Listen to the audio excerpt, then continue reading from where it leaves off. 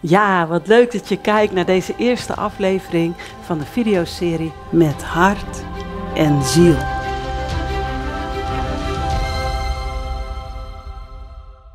Mijn naam is Maria Prins en in 1998 ben ik samen met mijn man Erik lid geworden van de Vrije Baptistengemeente Groningen, ook wel VBG genoemd. Tegenwoordig heten we de Stadskerk. Een jaar later, in 1999, ben ik aanbiddingsleider geworden. En dat heb ik 24 jaar met hart en ziel gedaan. En nu ik stop, heb ik eigenlijk het verlangen gekregen om een mooi cadeau in ons midden te leggen. Nu ik stop in deze bediening, zou ik zo graag jou, jullie iets willen vertellen van de belevenissen van de afgelopen 24 jaar. Want wat is er veel moois gebeurd? Dus vandaar deze serie. Misschien loop je al een tijdje met ons op en is het voor jou een feest van herkenning. Denk je, oh ja, is ook zo, was ook zo. Misschien ben je ook wel nieuw in onze gemeente. Nog niet zo bekend met de gemeentereis die we door de jaren heen zijn gegaan.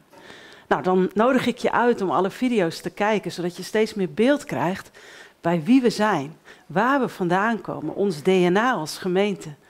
Dan begrijp je ook beter waarom we nu zijn wie we nu zijn. Want God heeft ons door de jaren heen op dit punt gebracht. Ik hoop dat het onze verbinding gaat versterken, ook onderling, door deze verhalen weer met elkaar te delen. Als aanbiddingsleider hoop ik ook echt dat het jou gaat ondersteunen, ook in je relatie met God, in je aanbidding voor Hem. En ik hoop dat het ook ons als gemeente gaat helpen om meer in de nabijheid van God te leven en van daaruit ook te leven. Gods nabijheid is kostbaar.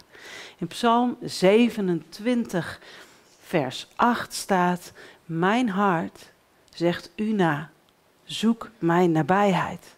Uw nabijheid, Heer, wil ik zoeken. Dus ons hart mag God nazeggen. Zoek mijn nabijheid. En de nabijheid van God mogen wij zoeken, ook als gemeente. De nabijheid van God is bijzonder.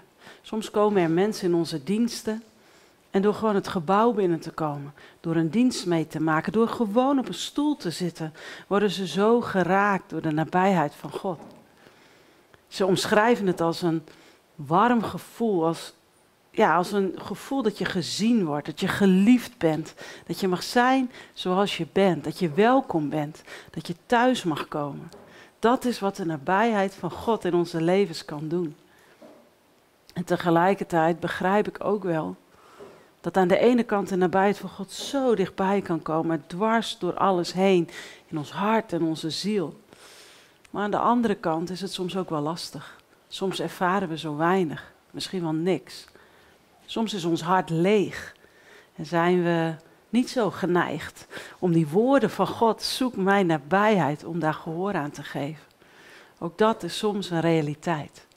Maar wat nou als wij als gemeente steeds meer leren om gehoor te geven aan Gods oproep, zoek mijn nabijheid. Dat we steeds meer samen leven onder een open hemel. Dat we steeds meer ontdekken, wij zijn een wonder van Gods trouw.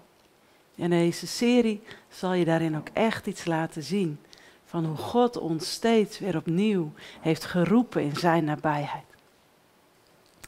24 jaar lang foto's, mailtjes, verslagen, notulen, vergaderingen. Ik vond het uh, echt ontzettend leuk om er weer eens in te duiken. Het was ook een hele klus, maar wat komen er dan veel mooie dingen naar boven? Gedenkstenen, getuigenissen. Dus ik neem je heel graag mee. Tegelijkertijd was het soms ook wel pijnlijk, confronterend of lastig. Want ja, ook niet alles is goed gegaan. Soms gingen dingen ook gewoon mis. Daar moeten we eerlijk over zijn. Maar de dankbaarheid overheerst van toch een zeer bijzondere reis. En daarom gaan we in de volgende video samen naar het buurtcentrum Het Dok in Leeuwenborg. Daarna gaan we samen verder naar de Stadsparkkerk. We komen in het Stadspark. En ik vertel ook over de avonturen die we hier op deze locatie hebben meegemaakt. Ga je mee op deze reis?